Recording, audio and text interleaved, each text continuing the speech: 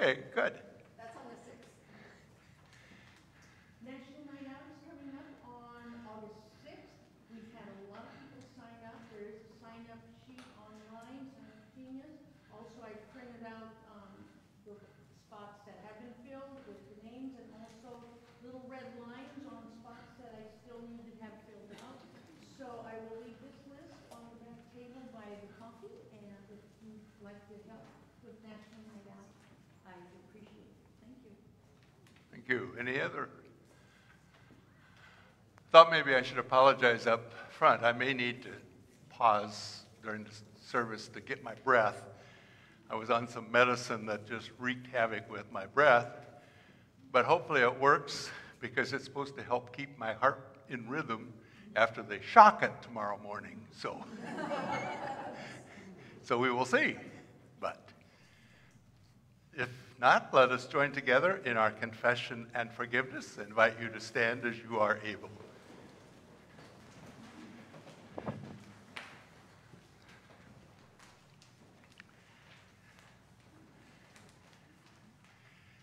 Blessed be the Holy Trinity, one God, the God of manna, the God of miracles, the God of mercy. Drawn to Christ and seeking God's abundance, let us confess our sin.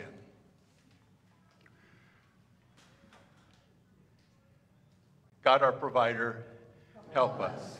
It is hard to believe there is enough to share. Question your ways when they differ from the ways of the world in which we live. We turn to our own understanding rather than trusting in you. We take offense at your teachings and your ways. Turn us again to you. Where else can we turn? Share with us the words of eternal life and feed us for life in the world.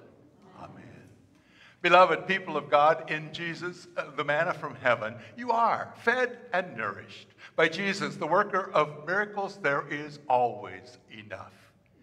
Through Jesus, the bread of life, you are shown God's mercy. You are forgiven and loved into abundant life. Amen.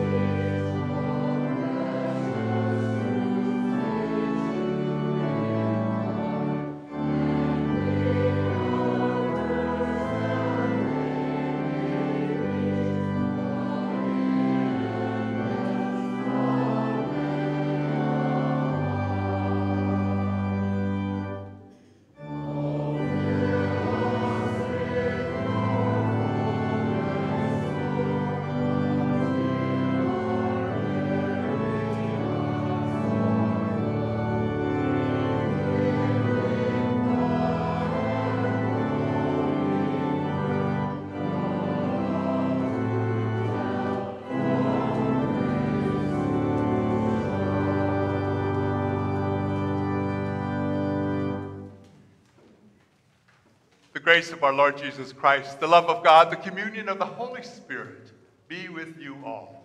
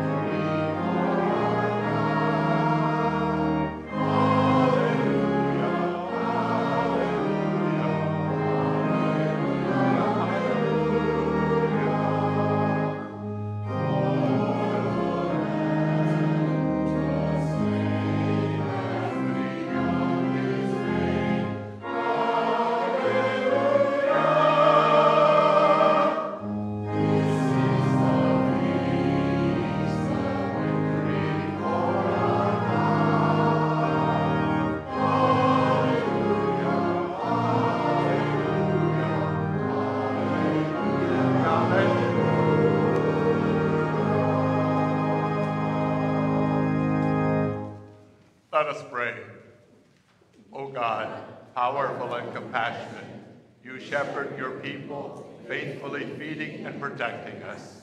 Heal each of us and make us a whole people, that we may embody the justice and peace of your Son, Jesus Christ, our Savior and Lord.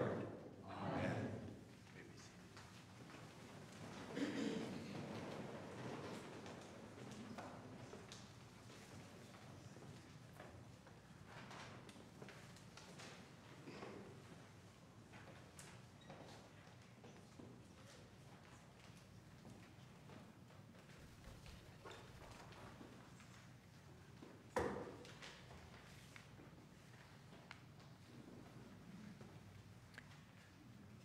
Jeremiah prophesied before the exile in 587 BCE.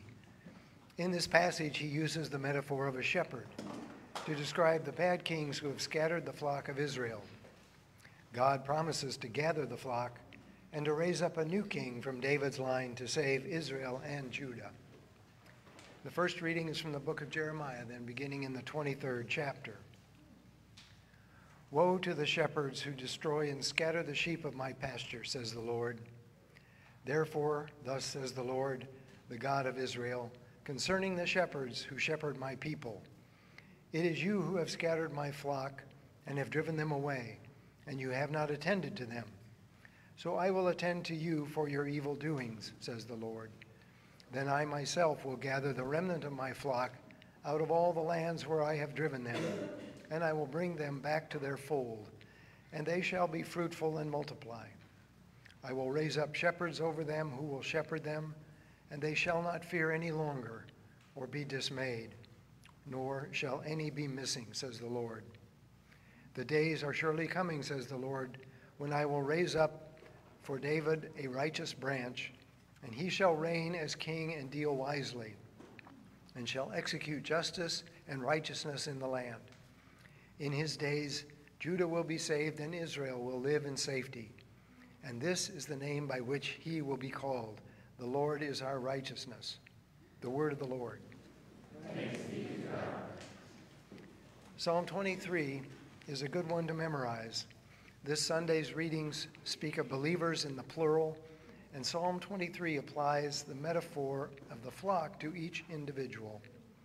Verse 6 speaks of my dwelling in the house of the Lord, which today's reading from Ephesians uses as a metaphor for all believers in Christ. We will sing Psalm 23 responsively.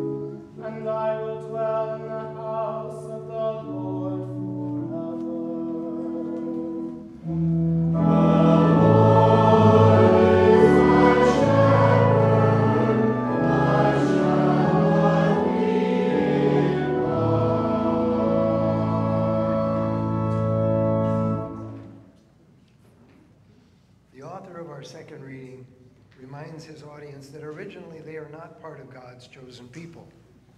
Through Jesus' death, however, they are included in God's household of faith, whose cornerstone is Jesus Christ. A reading from Ephesians beginning in the second chapter. Remember that at one time you Gentiles by birth, called the uncircumcision by those who are called the circumcision, a physical circumcision made in the flesh by human hands, remember that you were at that time without Christ, being aliens from the commonwealth of Israel and strangers to the covenants of promise, having no hope and without God in the world. But now in Christ Jesus, you who once were far off have been brought near by the blood of Christ, for he is our peace. In his flesh, he has made both groups into one and has broken down the dividing wall, that is, the hostility between us.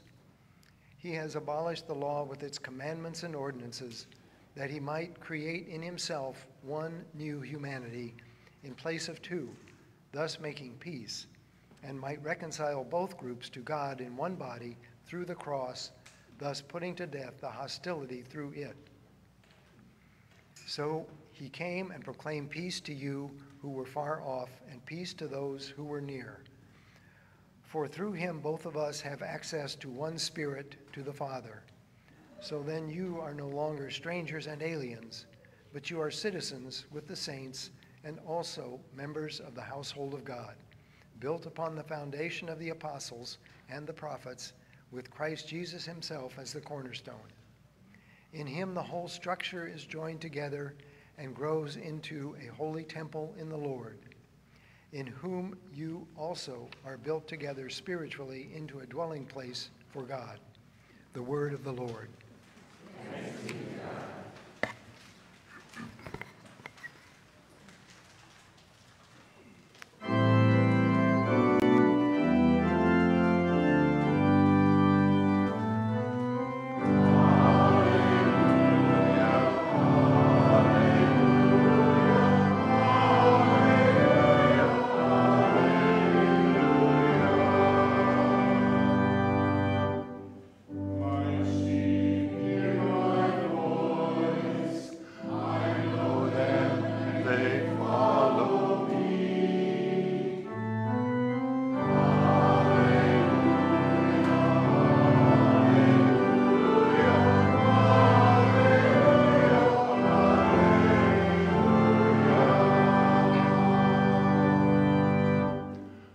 Holy Gospel according to Mark, the sixth chapter. The apostles gathered around Jesus and told him all that they had done and taught. And he said to them, Come away to a deserted place all by yourselves and rest a while. For many were coming and going, and they had no leisure even to eat. And as they went away in the boat to a deserted place by themselves. Now, many saw them going and recognized them, and they hurried there on foot from all the towns and arrived ahead of them. As he went ashore, he saw a great crowd, and he had compassion for them because they were like sheep without a shepherd. And he began to teach them many things. When they had crossed over, they came to a land at Gennesaret and moored the boat. When they got out of the boat, people at once recognized him and rushed about that whole region and began to bring sick on mats to wherever they heard he was. And wherever he went, into villages or cities or farms, they laid the sick in the marketplaces and begged him that they might touch even the fringe of his cloak. And all who touched it were healed. The Gospel of the Lord. May be seated. Invite our young people to come forward for a few minutes.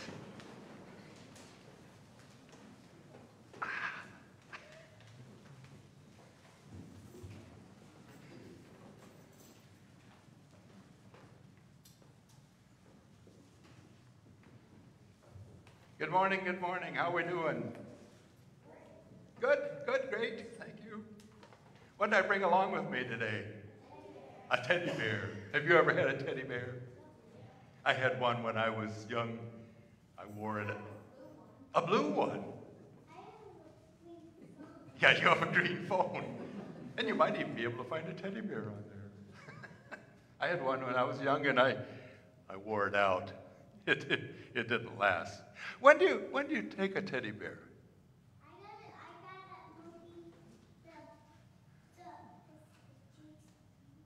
A, a monkey. Okay, okay.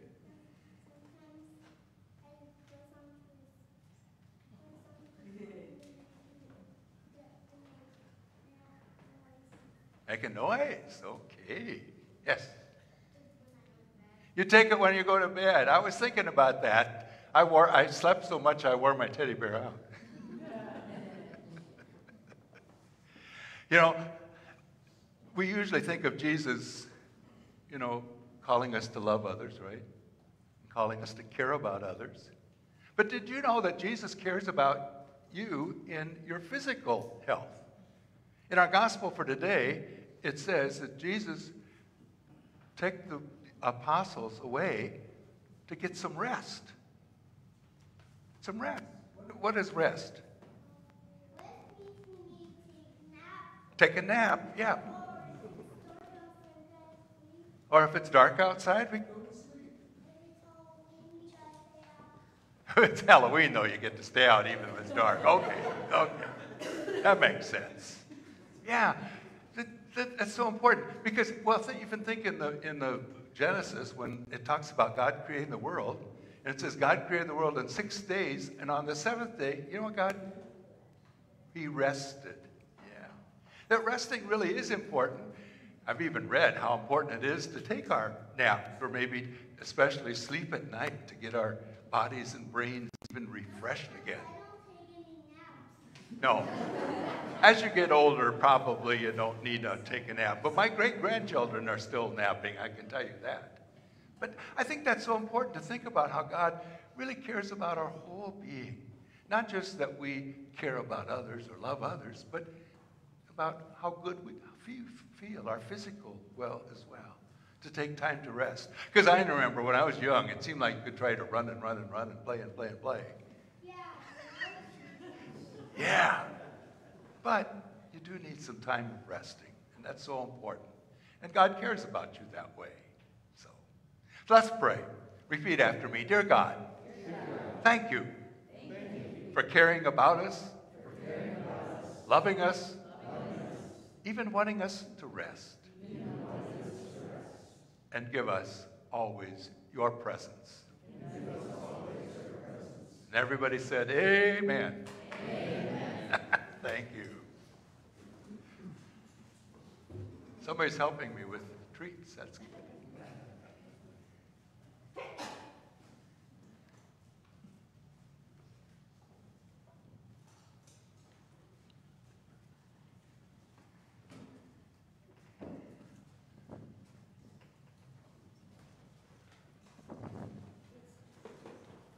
Thank you. Now you got to decide.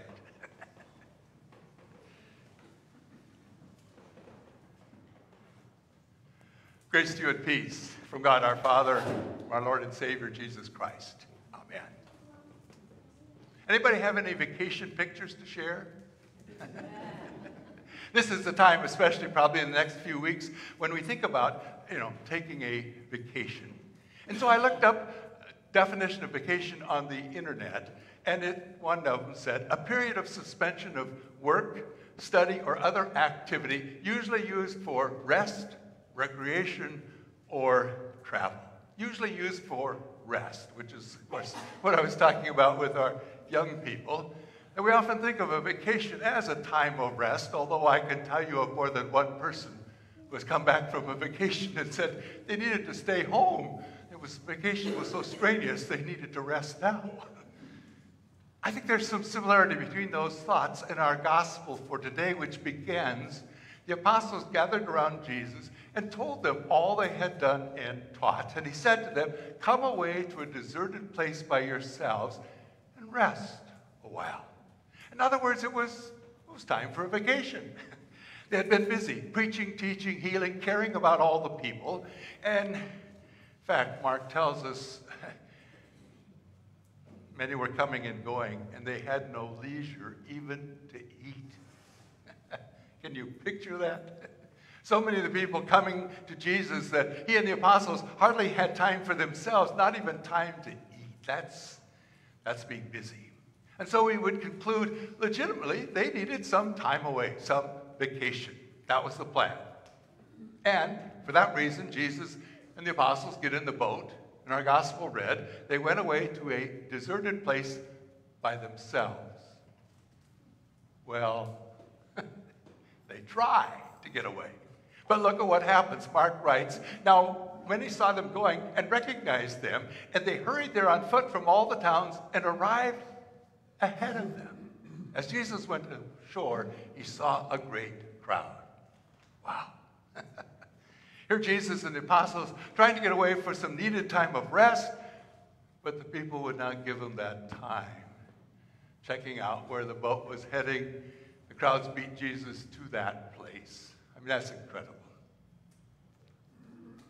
I don't know about you taking some time from work for a vacation, but I always like to get away a little while. And if members would have tracked me down and given me some work, not something that had to be done right now, just some work, I know I would have been a little upset.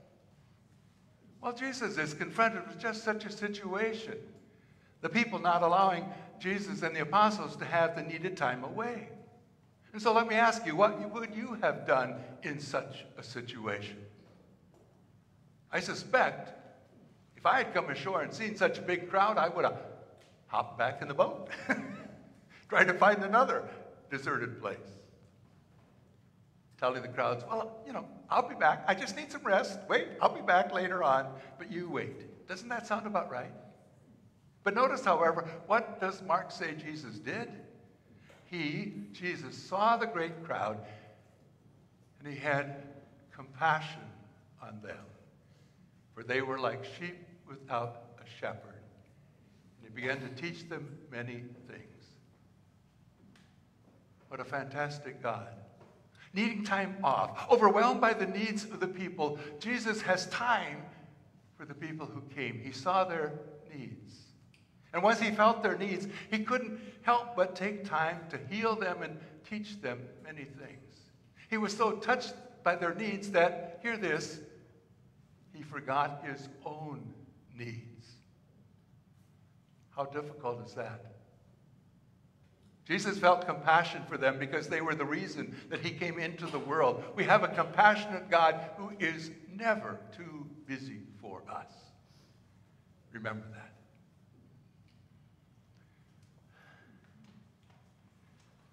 I Googled that word compassion. and one definition was a deep awareness of the suffering of others coupled with the wish to relieve it.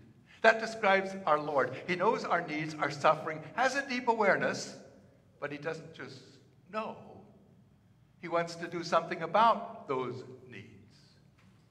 And so the writer of Hebrews tells us that we have this high priest, and he declares in the fourth chapter we don't have a high priest who is out of touch with our reality. He's been through weakness, testing, experienced it all, all except sin, he says. so let's walk right up to him and get what he's ready to give. Take the mercy, accept the help.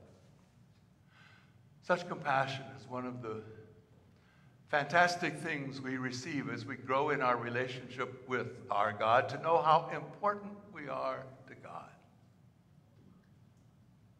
Now, that's only one side of the picture. The compassion which Jesus demonstrated is also something about, says something about our calling as his followers. Our calling to be like him to be deeply moved as Jesus is toward these people. Is this now what we as his followers are called to demonstrate as well, to show such compassion? How do we respond to the needs of others? I mean, obviously, we too can say we need our time of rest, our time away, our vacations, but I suspect the problem may be not being able to care as deeply as our Lord. Or maybe the problem is we have not been able to lay aside our own needs. I mean, as you think about the needs in this congregation or in this community or in the world, eh, probably each one could say, well, we have our own things that we need or want. Jesus calls us to lay some of that aside and think about what are the needs of all the people in this congregation or in the community and surrounding area, and then how can we accomplish God's ministry here?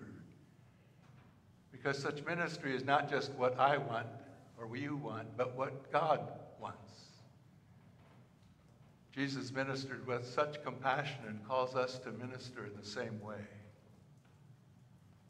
I mean, one of the times you really see this is when neighbors are hit by a storm, maybe, you know, a storm of nature, but also when illness or accidents happen. And we often do see such compassion as people bring food or, you know, spend time with others, and such acts really are important.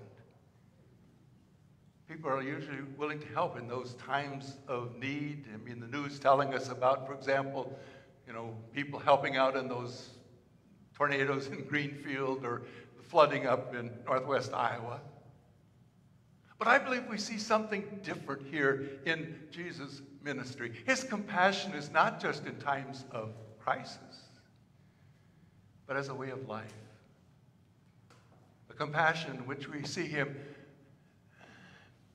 see him reach out to maybe people who don't always receive compassion people that maybe some were writing off in that society, written off maybe by even some of the religious leaders of that day. In today's gospel, it's the sick who are being brought to Jesus uh, from far and wide, and Jesus doesn't avoid or judge such persons.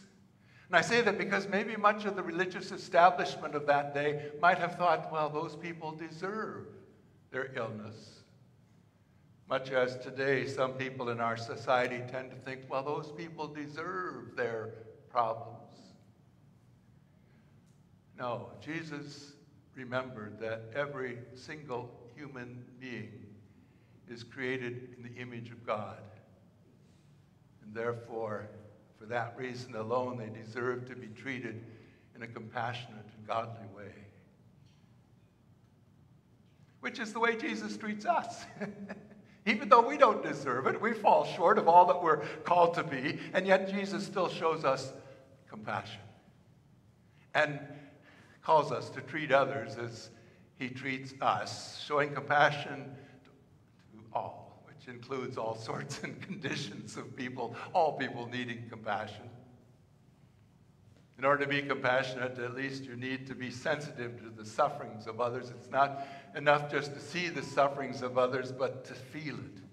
I mean, it's possible, you know, just to see some suffering but not feel it. DeWitt Jones tells about a photographer who was walking down the street one day and he saw a man who was choking. What a picture, he thought. This says it all. A man alone in need. What a picture. What a message. And so he's fumbling for his camera.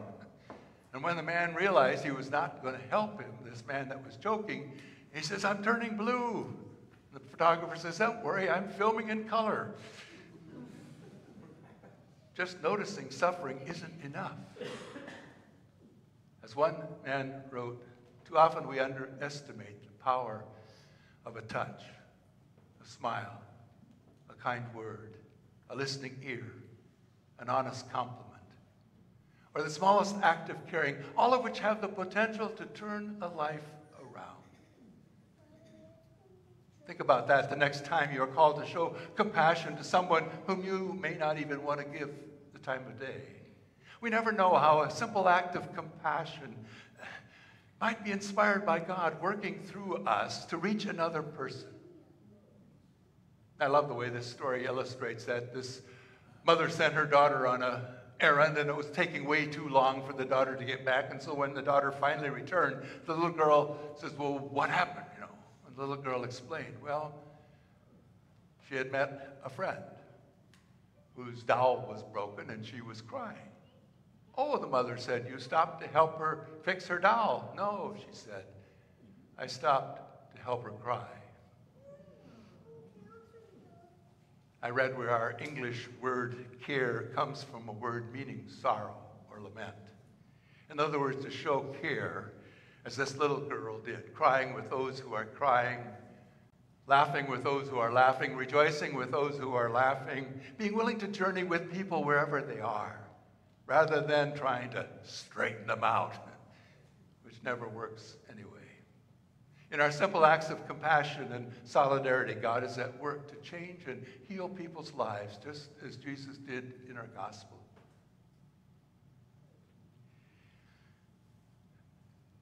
There are a number of stories about a statue of Christ that was somehow damaged. Not all of them true. but I still like one of those stories. it's a story that when World War II ended, the members of a church in Frankfurt, Germany began reconstructing their bombed out sanctuary. And one of the main objects to be restored was a statue of Christ, except that it had been broken apart. Well, they looked and found and were finding all the pieces, found all the pieces except the hands. And after a long debate, the congregation decided to put the statue up without hands, and under it they had the inscription Christ has no hands but our hands. That job that Christ still wants done involves compassion. Indeed, as we open ourselves up to our God and grow in our relationship with our Lord, then we will experience such compassion in our own lives. And as we experience such compassion, then we are the ones called to show compassion to others.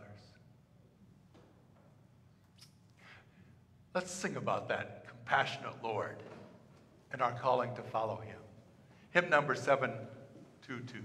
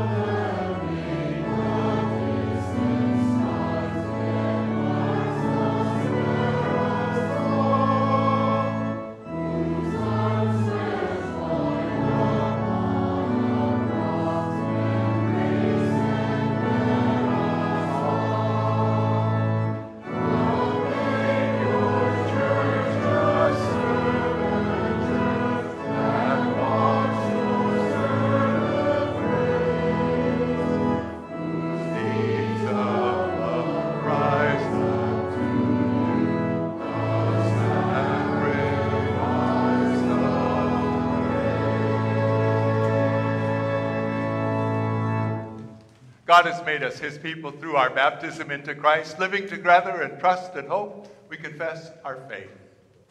I believe in God, Father Almighty, creator of heaven and earth. I believe in Jesus Christ, God's only Son, our Lord, who was conceived by the Holy Spirit, born of the Virgin Mary, suffered under Pontius Pilate, was crucified, died, and was buried. He descended to the dead. On the third day he rose again. He ascended into heaven and is seated at the right hand of the Father. He will come to judge the living and the dead. I believe in the Holy Spirit, the Holy Catholic Church, the communion of saints, the forgiveness of sins, the resurrection of the body, the life everlasting. Amen.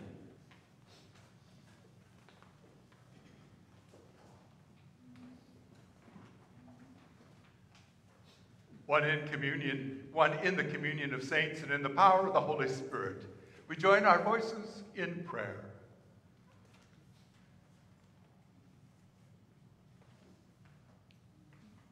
For the Church of Jesus Christ in this and every land, through the one who is the cornerstone of a firm foundation, join us together and build us up as a temple of mercy and peace. In your mercy, Hear our prayer. For creation, cause new trees to be planted, restrain the melting of polar ice caps, save land from destruction. Like a shepherd tends her sheep, raise up from among us caretakers of all you have made. In your mercy, our prayer. for the leaders of nations and the heads of tribes, where peace seems far off, bring it near. Where justice seems fleeting, bring it to light. Where discord seems relentless, bring harmony. In your mercy, Hear our prayer. for the health and well being of family, friends, and neighbors. Heal those who are sick, especially Jean Voss's brother Pete and the family of younger brother Milo Renberg of Cynthia Root and Sarah Bengston's uncle, passed away July 5th. Of Ken Henron, who is having heart surgery tomorrow. Give courage to all who struggle with addiction. Touch with your tender care all who reach out to you in pain. In your mercy, Hear our prayer. for this assembly and for the faith communities represented this week at the ELCA Youth Gathering. Nurture the faith of young people as they encounter new experiences and people. Break down dividing walls and inspire collaboration among people of every age. In your mercy, Hear our prayer. in thanksgiving for those who have died. Make us certain that in Christ we are no longer strangers and aliens, but citizens with the saints in the household of God. In your mercy, hear our prayer. Holy God, holy and merciful, into your outstretched arms we commend ourselves and all for whom we pray, trusting in the one who is the way, the truth, and the life, Jesus Christ, our Savior and Lord. Amen. The peace of Christ be with you always. And also with you. Please take a moment to share Christ's peace with one another.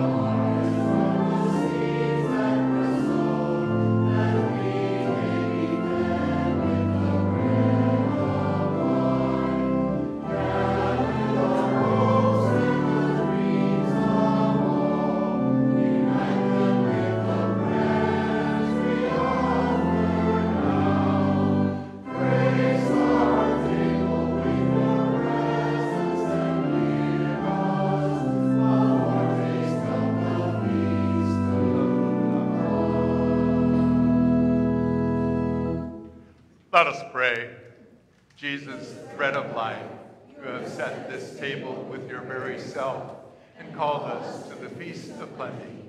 Gather what has been sown among us and strengthen us in this meal. Make us to be what we receive here, your body for the life of the world. Amen. The Lord be with you. Lift up your hearts. Let us give thanks to the Lord our God. It is, indeed right, our duty and our joy, that we should at all times and in all places give thanks and praise to you, Almighty and merciful God, through our Savior, Jesus Christ. You comforted your people with the promise of life.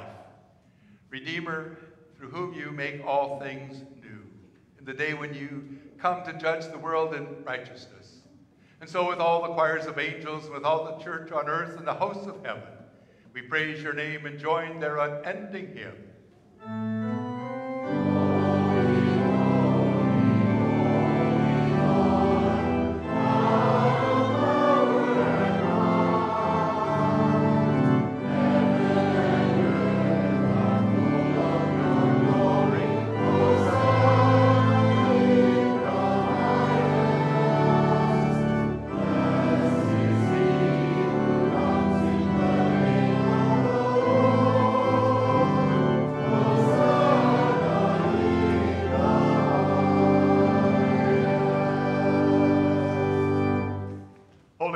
maker, redeemer, and healer, in the harmonious world of your creation. The plants and animals, the seas and stars were whole and well in your praise. When sin had scarred the world, you sent your Son to heal our ills and to form us again into one. The night in which he was betrayed, our Lord Jesus took bread and gave thanks, broke it, gave it to his disciples, saying, Take and eat. This is my body given for you.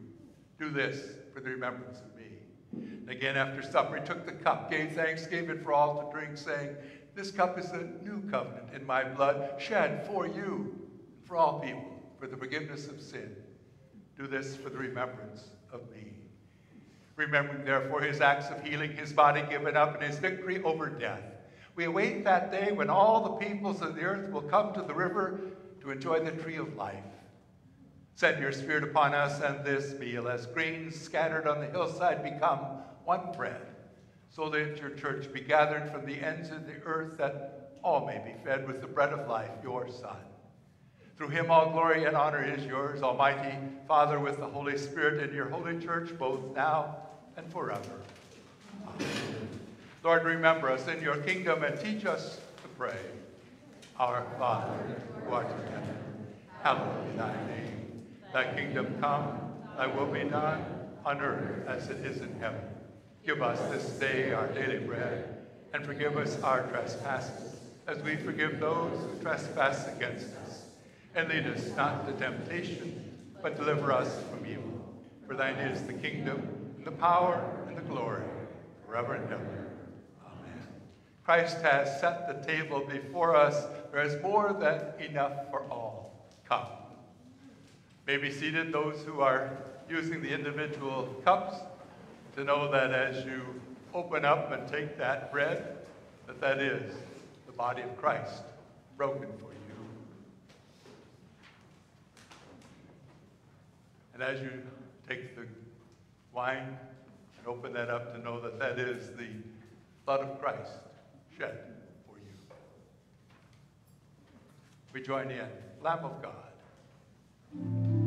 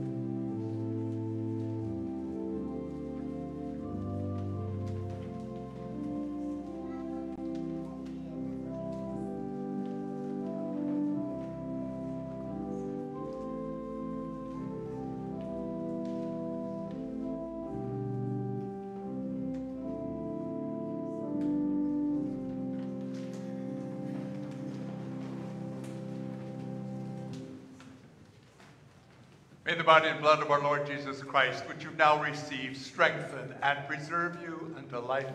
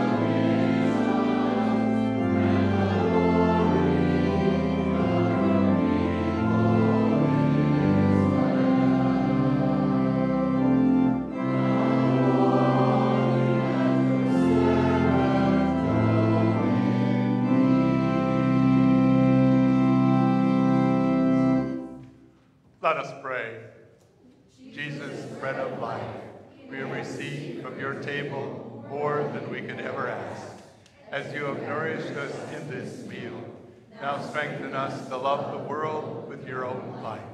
In your name we pray. Amen. The Lord bless you, keep you. The Lord make his face shine on you, be gracious to you. The Lord look upon you with favor and give you peace. In the name of the Father, and of the Son, and of the Holy Spirit. Amen. Amen.